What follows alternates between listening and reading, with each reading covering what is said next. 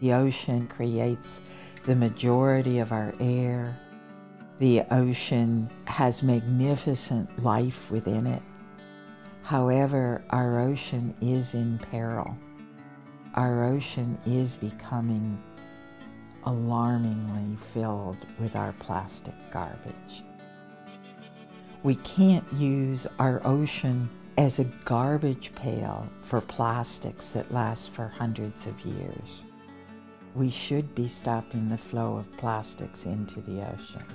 And we have to clean it up because it has reached a critical point. It needs cleanup now.